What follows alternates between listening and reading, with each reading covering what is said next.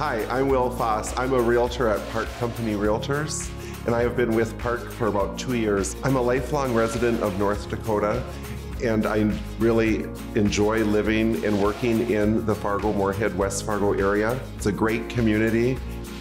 It was always a dream of mine to become a realtor, and I'm so grateful and thankful that I was able to pursue this career path.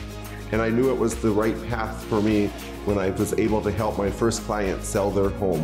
What sets me apart is that I'm a great negotiator, and I will go above and beyond to work with both buyers and sellers during the negotiation process. I absolutely love helping clients.